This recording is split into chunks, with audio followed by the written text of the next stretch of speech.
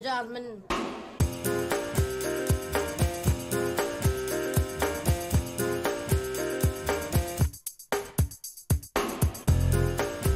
En général, vous savez comment euh, je lance, comme on dit Patrice, un mercredi. On mange du canard. On va manger du canard et donc quelques petits dessins.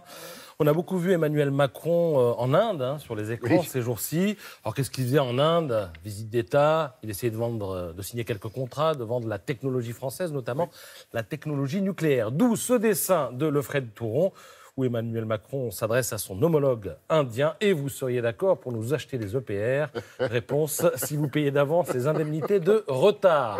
Alors ça mérite quand même un petit éclaircissement, à savoir que euh, Areva récemment a dû payer 450 millions d'euros à cause d'un retard dans l'affaire euh, de l'EPR finlandais.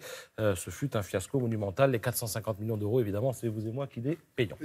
Euh, le Fred Touron, toujours, les interprètes US euh, américains préparent l'entretien du siècle entre Donald Trump et Kim Jong-un. Comment on dit salut gros sac en coréen?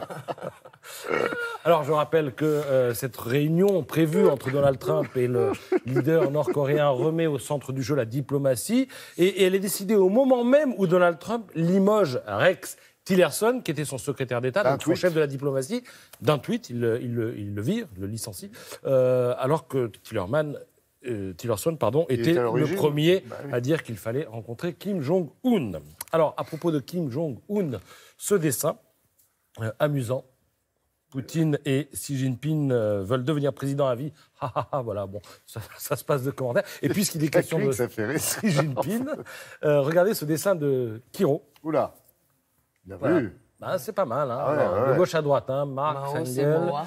euh, Lénine, Staline et euh, Xi Jinping. Euh, Mao, c'est moi. Euh, Mao, Ah oui, c'est moi. pas vu. Mon coco, j'allais dire. voilà, c'est voilà, c'est purement illustratif, on va dire, mais c'est réussi. L'essentiel, journal Lorrain qui inonde la frontière franco-luxembourgeoise, euh, nous propose un papier sur le travail de Vincent Maléa, auquel a été passé une commande publique de 40 portraits d'anonymes. Alors, l'objectif, c'est de montrer, on dit souvent, les vrais gens.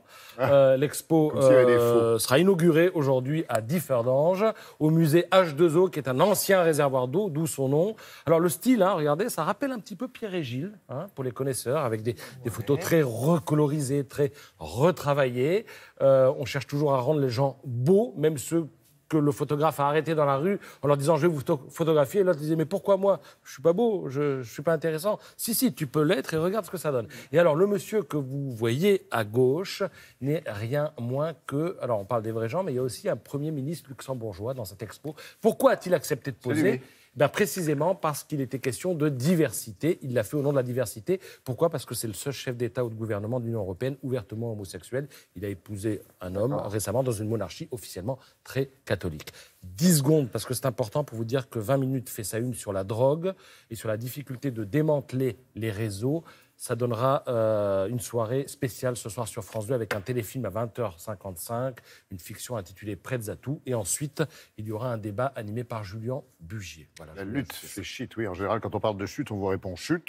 Quand vous dites shit. Voilà. Je dis On- shit citron ou shit orange? Enfin Ah, bon, ça oui, on la. Allez, on part en coulisses avec Adna. Merci, Patrice.